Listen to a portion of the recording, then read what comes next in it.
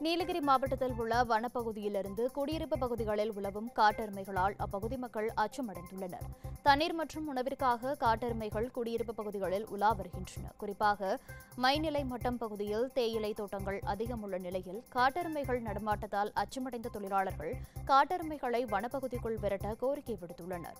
பொதுமக்கள் வனவிலங்குகளின் அருகில் செல்லவோ செல்ஃபி எடுக்கவோ வேண்டாம் என வனத்துறை அதிகாரிகள் கேட்டுக் கொண்டுள்ளனர் இது போன்ற முக்கிய வீடியோக்களை உடனுக்குடன் தெரிந்து கொள்ள நியூஸ் ஜே யூடியூப் சேனலை சப்ஸ்கிரைப் செய்யுங்கள்.